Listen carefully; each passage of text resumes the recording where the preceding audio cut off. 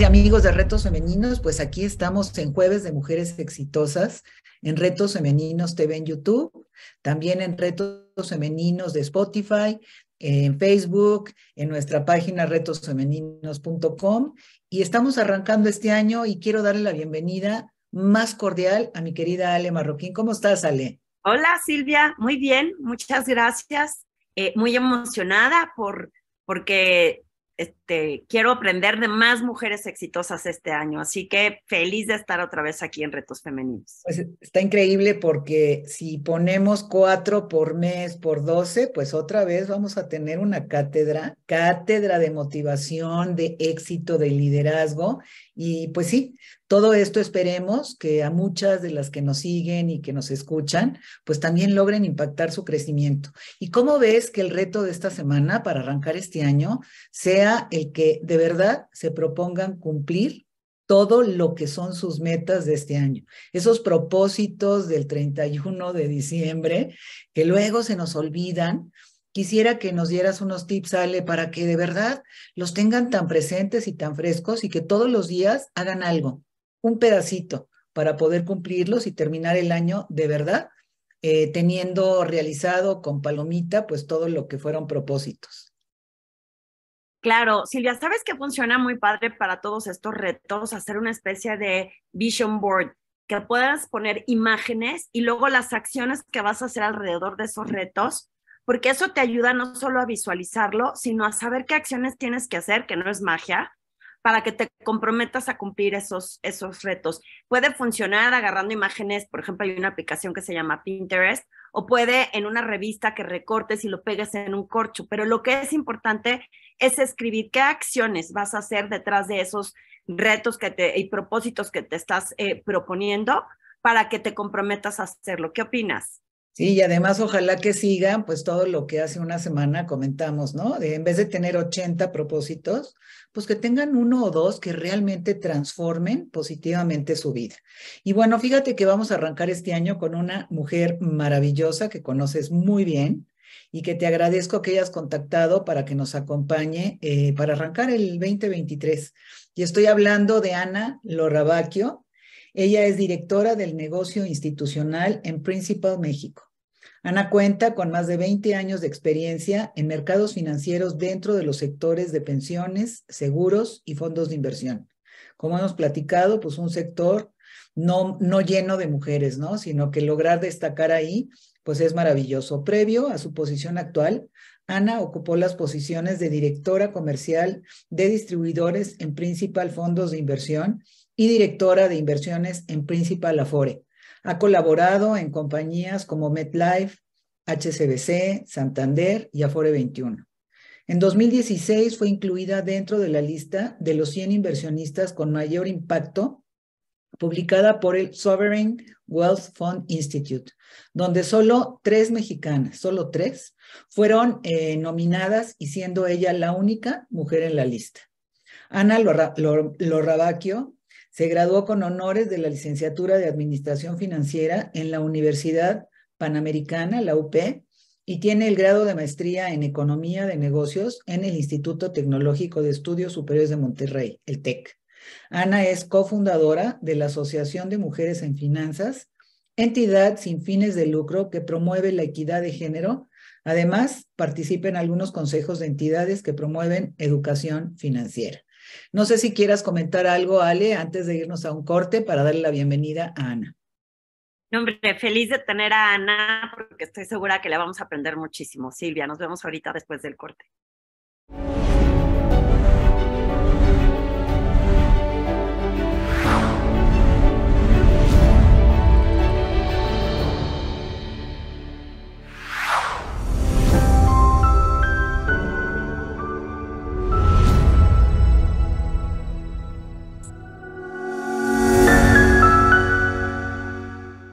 De regreso, felices, en este primer programa que tenemos en el 2023 con nuestra primera invitada, mujer exitosa, maravillosa, con la que vamos a arrancar este nuevo año. Y quisiera pedirle a Ale que le dé la bienvenida a Ana. Claro que sí, Ana, feliz de verte y de que estés aquí compartiendo con nosotros en esta tarde de Mujeres Exitosas. Bienvenida, este es tu programa. Muchas, muchas gracias. Me siento honrada de verdad de la invitación. Felices de tenerte, Ana, porque te vamos a aprender, nos vas a inspirar, nos vas a, motivar, que es lo que siempre les decimos aquí a quienes nos escuchan y quienes nos siguen, que es una decisión el poder hacer realidad lo que te propones, lo que de alguna forma sueñas, lo vuelves una meta y trabajas y lo puedes lograr. Y nos encanta aquí eh, arrancar los programas en esta parte fundamental que es cuando éramos chiquitas. Hemos visto que quien te inspira, lo que sueñas, hasta cómo eres, llega un momento en el que son como la base de, esta arquitectura maravillosa de una vida plena que ha logrado alcanzar el éxito. ¿Tú qué nos puedes compartir, Ana? ¿A ti quién te motiva? ¿En qué, ¿En qué jugabas? ¿En qué soñabas? ¿Hacías numeritos? ¿Te veías en la posición? Cuéntanos un poco. Claro que sí, con todo gusto. Siempre fui una niña muy curiosa.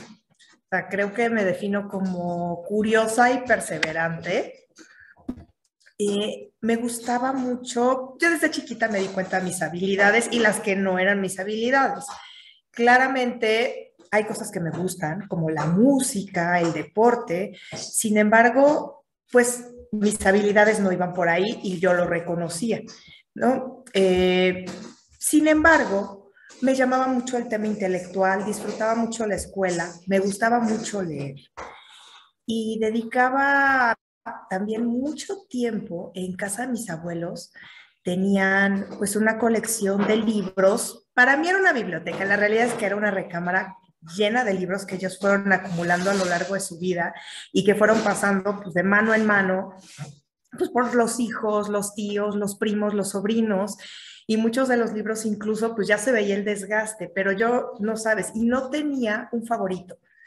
Siempre elegía uno diferente y pasaba gran parte de tiempo en, en, estos temas, ¿no? Que poco a poco me fui dando cuenta que además de que me gustaban, pues era buena. Era buena en la escuela, buena en el estudio y mi mamá siempre nos enfocó en un tema de excelencia. Entonces, a lo que nos dedicáramos, lo teníamos que hacer, lo que teníamos que terminar y lo teníamos que hacer bien. Entonces, creo que fue una combinación que poco a poco, pues me fue llevando a, a donde estoy ahora, ¿no? Vas encontrando tus gustos, pero las raíces, el origen, yo les diría que, pues viene realmente de, ahí. Oye, Ana, qué padre, qué padre que, que tengas, tenías esa claridad de que en qué eras buena y en qué podías destacar y en qué no, porque a veces, pues, hasta que no nos animamos a intentar hacer algo diferente, no nos damos cuenta en qué somos más habilidosos y que hayas tenido esa sensibilidad está increíble. Y supongo que por ahí cuando empiezas ya pues a escoger esa formación eh, educativa para llevarte hacia algo profesional. ¿Tenías claro qué querías estudiar? ¿Ya sabes a qué te querías dedicar y en qué te querías destacar en el resto de la vida? ¿O cómo estuvo ahí esa parte? Creo que a la fecha no lo sé. en realidad no, no, nunca lo tuve y por lo mismo que pues soy tan curiosa, me gusta seguir aprendiendo y dedicándome a otras cosas creo que también hay ciclos, ¿no? En la vida. Y sí pasé por, primero, ¿no? Querer, como todos los niños, ser maestra y sigue siendo una de mis pasiones, como les decía, la educación. Y dedico cada vez que puedo algo de compartir conocimiento, ¿no? Dando clases, profesor invitado de asignatura, en cualquier formato. Pasé por eh, derecho, ¿no? Como yo decía, me gusta realmente leer y creo que soy buena argumentando. Yo me veía como abogada. La verdad es que creo que no hubiera sido una buena abogada. Eh, pero bueno, fui pasando por diferentes facetas y te digo, a la fecha sí me llamaba y me siguen llamando mucho la atención las finanzas. He logrado combinar este tema no solo financiero, técnico, sino educación financiera. Entonces ahí se ensamblaron también pues algunas de, las pasiones que, que yo tengo. Y en años recientes, como decía, son ciclos, ha atrapado mucho mi atención el tema de alimentación, el tema de neurociencia, los temas humanistas. Entonces, eh, pues yo creo que no paras, ¿no? De seguir aprendiendo y cuánto tiempo yo me voy a dedicar a lo que me estoy dedicando ahora, como lo hago hoy, pues yo creo que ya no va a ser mucho tiempo, porque siempre vas cambiando, va cambiando el formato y han pasado cosas que dije, nunca voy a hacer eso y soy inmensamente feliz haciendo eso. Entonces, hay momentos en la vida, aunque siempre fui muy planeadora, pues hay cosas que salen y cosas que no salen, pero eso no me ha impedido pues disfrutarlo, ¿no? Oye, Ana, y con la experiencia que tienes el día de hoy, ¿qué le dirías a esa niñita inquieta, a esa niñita que le gustaba leer? ¿Qué le dirías si te la toparas? Yo le diría que conviviera un poco más, que escuchara más a las personas, eh, porque sí mi mundo fue tal vez un poco más alejado de lo que era el tema social y con el tiempo me he dado cuenta que así como he aprendido mucho de las lecturas y de los libros, también y no sé si en la misma medida o incluso más he aprendido de la gente, ¿no? Tener estas conversaciones con ustedes, uno siempre se enriquece y abre la mente. Eh, que con los libros pasa en algunos casos, pero cuando lo haces con la gente hay una conexión distinta. Entonces yo, yo le permitiría a esa niña que, que se abriera un poco más al tema social. Sí, definitivamente la parte social es, es un factor súper determinante, e importante para construir y alcanzar lo que queramos porque necesitamos de más personas. Entonces, es, es una buena lección de vida, ¿no? Tratar de, de convivir y de conectar con más personas. Y en ese aprendizaje, esto que estás mencionando de convivir más, eh, estamos convencidas que muchas veces es a través de ciertos retos, dificultades, obstáculos, lo que hace que podamos seguir creciendo. ¿Qué nos puedes compartir, Ana, que te haya sucedido a ti, que haya sido como un gran obstáculo, inclusive un gran fracaso, o que haya dado este parteaguas para que tú, bueno, sigas creciendo, pero que tuviste este aprendizaje para estar en donde estás? Y que otras personas que nos escuchan sepan que a veces pues, no cae por, por gracia divina, ¿no? El éxito, sino que es a través de estos momentos difíciles que luego crecemos. En, en tu caso, ¿tienes alguna historia que nos puedas compartir, Ana? Pues sí, y el origen, como en muchos casos que te hacen reflexionar de las cosas, pues fue la salud. Em, yo tengo una enfermedad autoinmune, pero me empezó a afectar mucho, el síndrome de Sjögren, es resequedad en las, eh, resequedad en las mucosas. Y yo estaba muy desesperada porque eran mis ojos lo que me estaba afectando. Y la luz me afectaba, pero me afectaba un grado extremo. El dolor me podía tener en cama, el cuarto oscuro, cerrado. Se asemeja mucho a lo que podría llegar a ser una migraña muy fuerte por un periodo prolongado.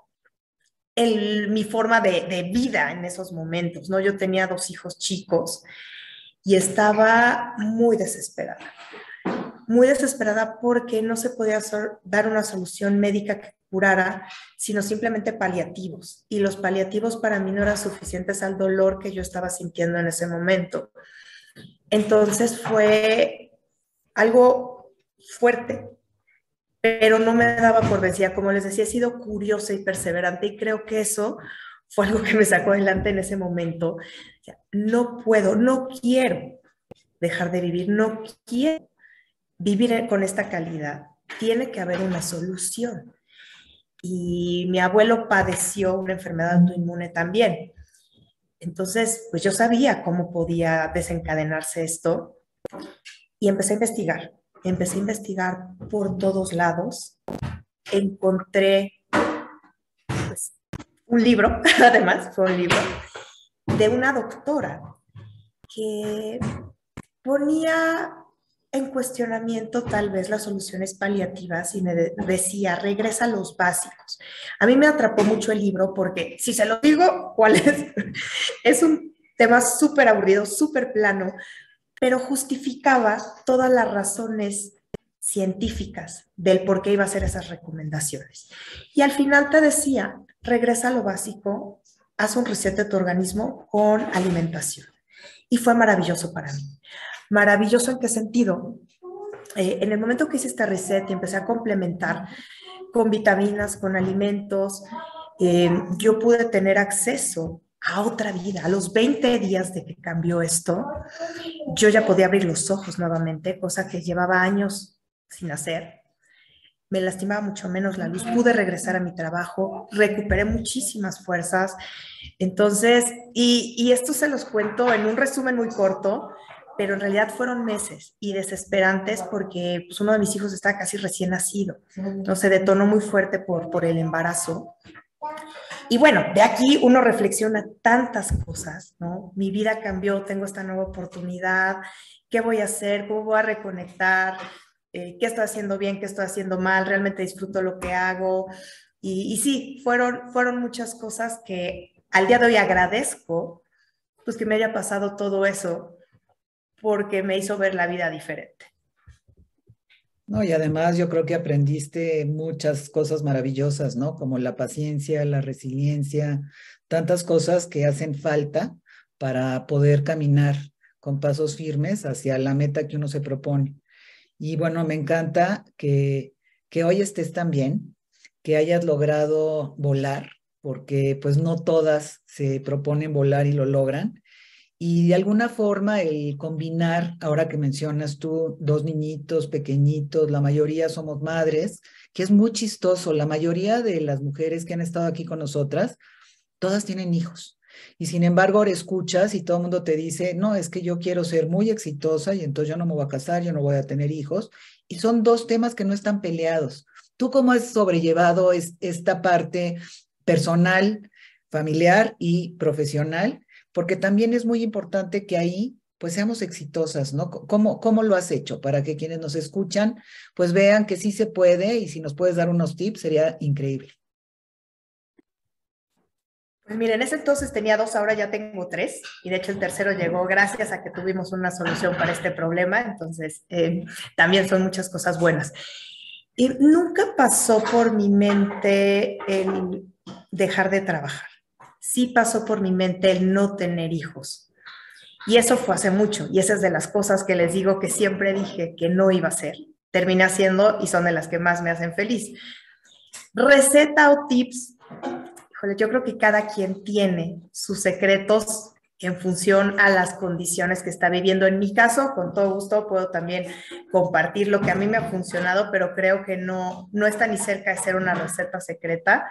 Eh, desde, como decían, en la familia, mi educación siempre fue muy equitativa en tema de género. Yo tengo una hermana y siempre nos educaron para ser independientes, económicamente, psicológicamente, emocionalmente, y eso creo que nos ayudó mucho. Y yo encontré una pareja que respeta mucho mi individualidad, las cosas que me gustan, mi tiempo, y nos vemos y siempre nos hemos visto como iguales en ese sentido. Entonces,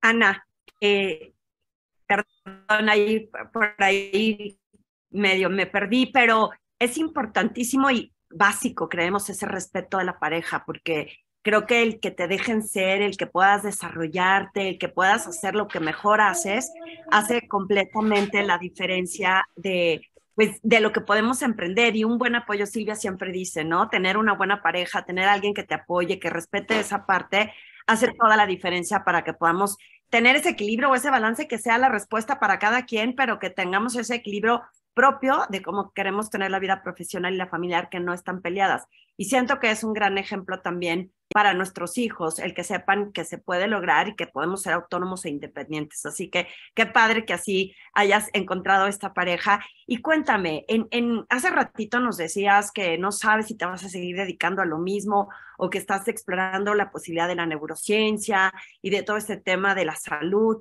Eh, ¿Cómo te ves en el futuro? ¿Cómo, cómo visualizas tu vida profesional, eh, personal en el futuro, Ana? Pues el camino que he trazado no me gustaría dejarlo, eh, pero sí hay que seguir creciendo y creo que esta es una parte interesante de cómo puedes ir añadiendo cosas a lo que actualmente haces. Eh, mi, digamos, mi columna vertebral siempre ha sido las finanzas y de ahí he hecho varios temas, ¿no? Que he desarrollado y también me dedico gran parte de mi tiempo digamos, entrecomilladamente libre, ¿no? Para eh, apoyar, soy cofundador al tema de género, ¿no? de equidad de género. Soy cofundadora de una asociación sin fines de lucro que busca equidad en el sector financiero. Y si bien es cierto que hay una gran diferencia de hace más de 20 años, cuando yo empecé, que había muy pocas mujeres, se ha incrementado, ¿no? Y la participación en algunos casos hasta dicen ya es del 50%.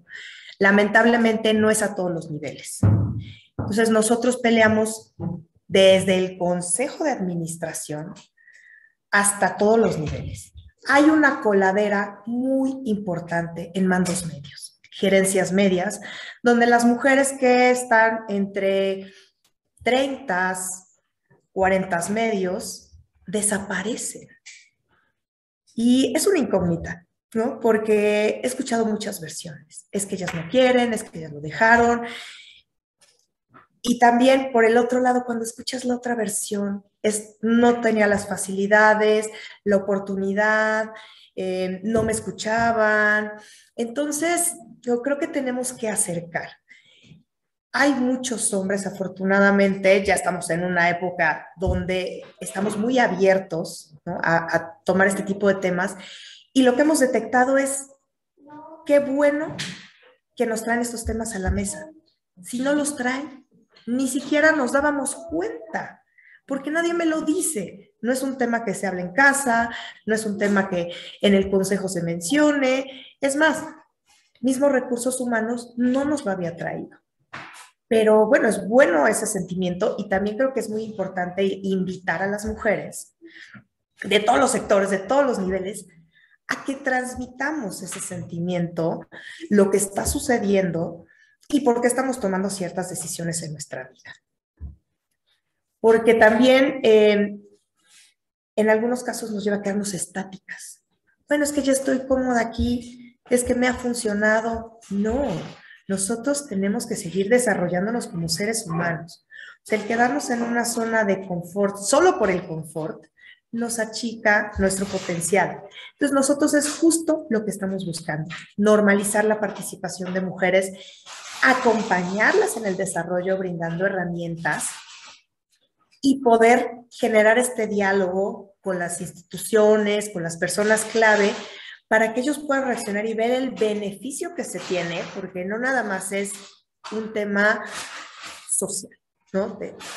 Tenemos que ayudar y tienen que participar porque son el 50% de la población. No, no va por ahí. Se puede hacer un cambio profundo económicamente en la sociedad y en el país, claro, esto tiene que venir aparejado de obligaciones y responsabilidades de todos los participantes de la familia, ¿no? Si es pareja, pareja, si son hijos, y es un cambio de vida, porque también en algunas culturas como la latinoamericana o la mexicana, pues sí, son estos temas donde las mujeres tenemos que tomar ciertas responsabilidades que consumen mucho tiempo, que no son remuneradas y que han sido asignadas como un rol estigmatizado, que nosotras somos quienes deben de fungir como cuidadoras, como madres abnegadas, como cocineras, como muchas de las cosas que pueden darse en combinación. Entonces, por eso hablaba hace rato del tema de la individualidad, de la pareja, pero también es este complemento en las responsabilidades. Y creo que al día de hoy, eh, cuando comenté el tema de la neurociencia, de los temas psicológicos, los hombres también están cambiando en ese sentido y quieren participar más en la vida de los hijos. Y a veces es un reto para ellos, porque cuando hablamos de eso, tampoco es bien visto, ¿no? Y tampoco es bien visto que un hombre pida cambiar la junta de las 5, de las 6 de la tarde porque hay un evento de los hijos, porque la junta es más importante, ¿no? Eh, cuando hay momentos en que se puede ser flexible. Yo entiendo, hay casos que tienen que, respetarse, pero muchos otros pueden ser hablados y no existe esta apertura ni diálogo para que se pueda hablar abiertamente. Entonces, trabajamos eh, en los dos lados. Eso me encanta. Fíjate que ahora en nuestro evento del 8 de marzo, que es la 16 edición, que de hecho Ale va a dar una conferencia, te vamos a compartir, ahora es digital, lo hacíamos en el Auditorio Nacional, para que pues lo compartas con todas las mujeres de tu sector, sentimos, ahí viene también con Enrique de la Madrid, vamos a presentar eh, la desigualdad, la igualdad, ¿cómo le pusimos? Desigualdad, equidad desigual. donde estamos basándonos en el estudio que hizo McKinsey de Women Matter, donde pues ahí te sale la realidad, ¿no?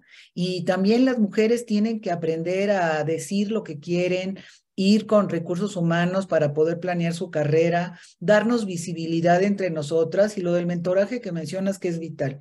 Entonces sí es bien importante toda esta parte, no solamente de un grupito que somos las que llevamos muchos años trabajándolo, sino lograr que las mujeres entiendan qué importante es que ellas se sumen, que abran la boca, que no sean sumisas, que cuando tienen una gran idea la, la expresen, pero la expresen públicamente, aunque te vean raro, ¿no? Que yo creo que todos lo hemos vivido, porque luego esa inseguridad es la que hace que, que no te atrevas.